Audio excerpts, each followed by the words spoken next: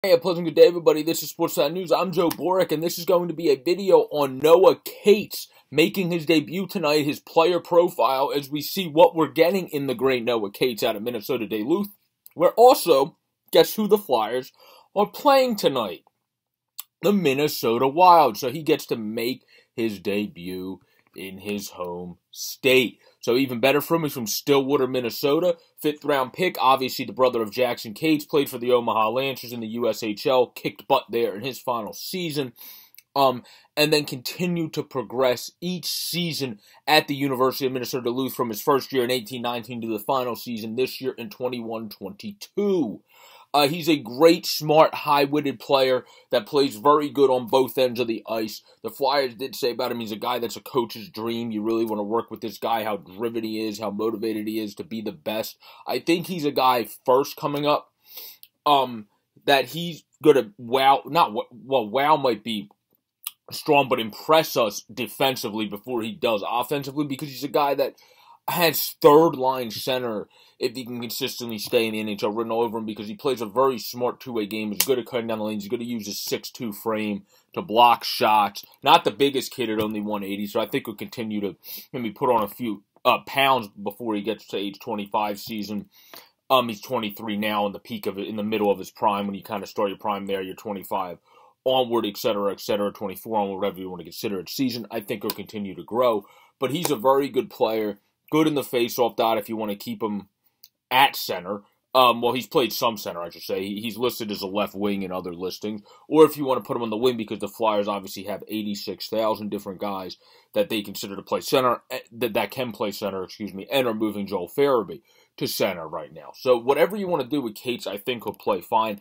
I do think his game, though, uh, profiles 2-3C, because he plays – very good on both ends of the ice. He cuts down the passing lanes really well, but he's also a very good passer. Not that he can't shoot the puck, he's a good shooter of the puck, but he's a very good passer and a guy that can set up his teammates in the offensive zone while being a guy that is first and foremost going to stop guys in the defensive zone and then get the puck up to his teammates and the guys on his line, say if it's Owen Tippett, that are able to be able to finish and and get it done at the other end, or say if it's uh, Frost on the other end, playing him on the wing, which is probably what he should be doing and not center, th- then he can get it up to him and the speedster can go down the ice. So I think he profiles more, even though he's listed as a winger or something. I think in the NHL, his play style of just being a quick witted two way player profiles better as a C and able to stick because there's a lot of wingers in the league that are able to play solid two way and produce about 20 points a season. There's not a, as many centers that are as good as Noah Cates profiles defensively and at cutting off passing lanes, in my opinion, and being able to just play a good 3C where he doesn't overcomplicate things and just basically keeps it simple, stupid type uh, profile, then I think that's a pretty good spot because how good of a 3C Derek Brassard has been for different teams in his career offensively when he never has been good defensively until he's progressed defensively in his last couple seasons and actually has been decent 5 on 5.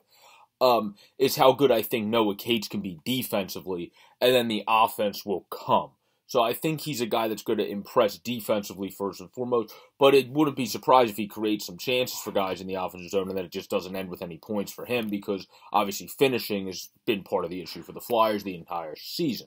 So it's going to be interesting to see how he fits in, but I'm excited to see his debut tonight for Noah Cates. This has been the latest edition of the Grittiest Take by Sports Phanatic News as you get the profile on Noah Cates as he's set to make his debut in his hometown tonight at 8 p.m. The Stillwater, Minnesota native is going to debut for the Flyers, and I personally believe will be a center in the NHL uh, to stick around if he does stick around for the long haul, which I think he has a good chance of doing because of the way he plays the game, as I said in this video. Please subscribe down below. Above the easy to use widgets, keep trying to go to 215 or more to meet our end of March goal. Really appreciate you guys' love and support this far. Let's go Noah Cates. Let's go Flyers. Hayden Hodgson's been impressive this far. Hopefully Noah can impress in his games as well. Peace out, everybody, and stay safe.